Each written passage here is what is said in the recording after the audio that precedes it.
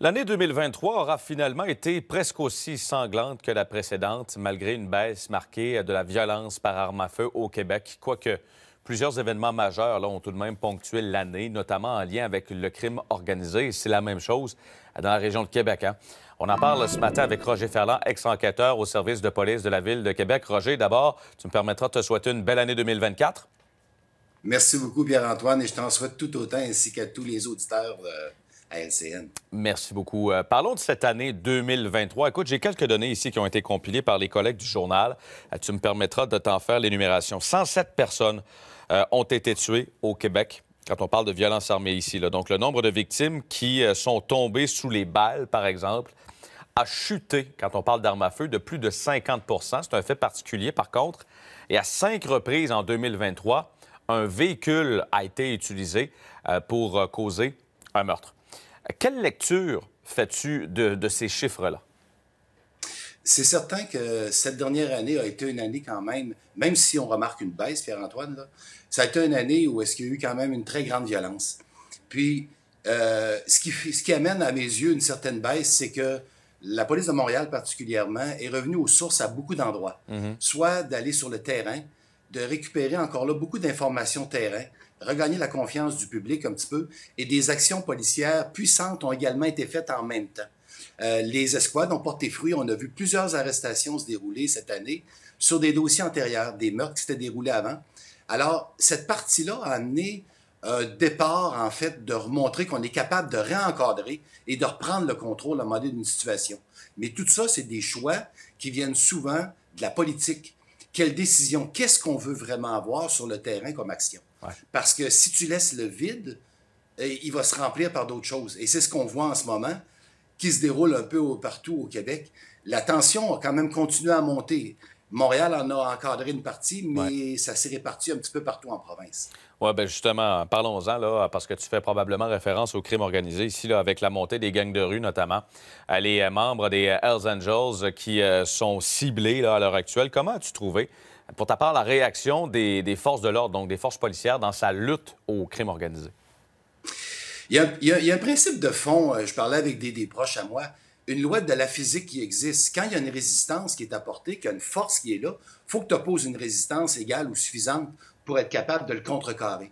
Là, en ce moment, ce qu'on voit, c'est que le crime organisé a, offert son autorité pendant des années mm-hmm. selon un certain mode euh, hiérarchique qui était là.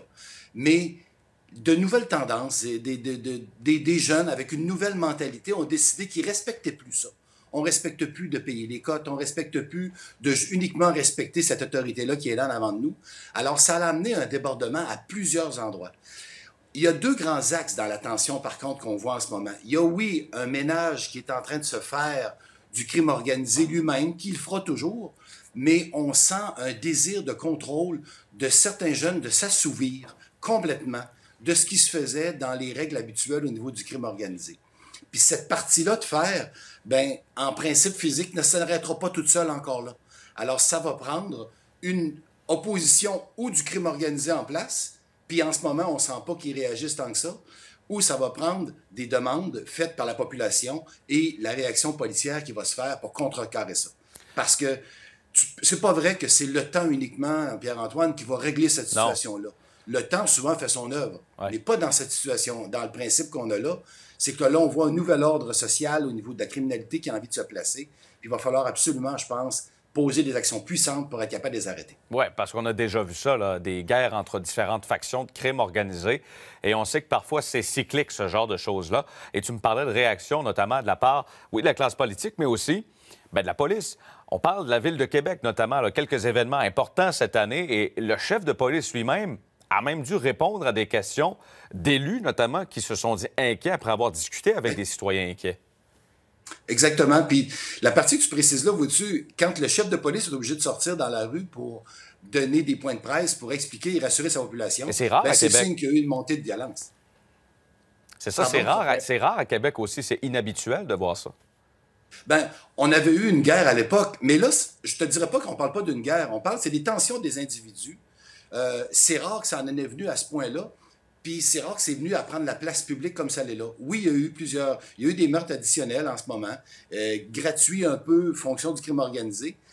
Mais cette réalité-là a atteint un peu partout le Québec en ce moment. C'est pour ça que dans le volet qu'on est là, je ne pense pas que c'est il faut s'en inquiéter outre mesure. Mais c'est pas vrai que tu ne dois pas donner de cadre en ce moment mhm. et de direction. Qu'est-ce que la police va faire? Et également d'encadrer nos jeunes. On a souvent pensé, euh, Pierre-Antoine, que des fois, laisse, laisse les libres, laisse-les agir. C'est vrai jusqu'à une limite. Mais là, on est rendu à, dire, si tu aimes vraiment là, tes jeunes, ben, encadre-les, puis donne-leur une direction dans laquelle tu veux qu'ils aillent en ce moment. Alors, le travail va devoir se faire au niveau policier de façon euh, importante, mais va devoir se faire au niveau terrain, au niveau de prévention également. Puis ça, c'est ce qu'on vit. C'est pour ça que le chef a sorti en expliquant que oui, euh, il y a eu des, des, euh, des, meurtres gratuits, je pense un peu dans la région de Québec, mais toujours en action mhm. avec le désir de contrôle d'assouvir certaines gangs en ce moment. Roger, je, manque de temps, mais je veux absolument terminer sur les cas de santé mentale. On parle d'une année presque aussi meurtrière cette année que l'année dernière. Y a-t-il un lien à faire avec les cas de santé mentale? Parce qu'en discutant notamment avec des policiers de la Ville de Québec, certains policiers disent que 80% de leurs interventions policières sont en lien avec des cas de problèmes de santé mentale. Est-ce que c'est anodin de dire qu'il y a une corrélation entre ces chiffres et les problèmes de santé mentale?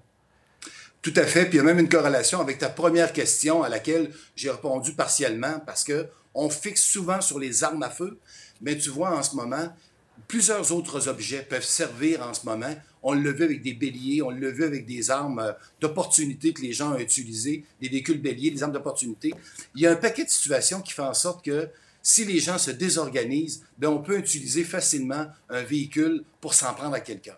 Et en ce moment, même si on forme nos jeunes policiers à penser autrement, mhm. que tu te dois, dans certains cas, de, travailler parce que es le dernier rempart qu'on donne en ce moment à la société au niveau de la, santé. Et très souvent, les gens se désorganisent pour plusieurs autres facteurs que uniquement euh, de la violence pure au départ. Mais tu vis avec la santé mentale dans les rues et cette partie-là, je ne pense pas qu'elle est appelée à changer. C'est pas le travail qu'on s'attendrait des policiers au départ. Les policiers sont là pour offrir la sécurité. Mais la sécurité maintenant avec laquelle on est pris pour travailler, c'est que les gens, à l'occasion, se désorganisent et de toutes sortes de façons. Alors, euh, c'est comme... Euh, il y a plusieurs facteurs. C'est multifactoriel pourquoi mhm. ça se déroule? On s'entend, on a banalisé beaucoup de choses, mais je pense que là, on doit revenir à un encadrement pour être capable de permettre que s'il y a des actions qui ont besoin de santé, ben, qu'on l'offre à la santé publique. Puis s'il y a des actions qui ont entré à la police, ben, qu'on l'offre par la police en ce moment. Puis nos tribunaux devront nous suivre également dans les actions policières. Puis rappelons-nous une affaire, on n'aura jamais plus loin la police que ce que la société voudra bien qu'on aille. Alors, c'est des choix que les gens vont se donner en ce moment. Espérons que 2024, on s'offre des choix de qualité supérieure un petit peu pour être capable d'être efficace puis sécuriser la population un peu partout. Ben, ça résume la situation. Roger Ferland, ex-enquêteur au service de police de la Ville de Québec. Merci. Bonne année. Merci beaucoup également à vous. Bonne journée.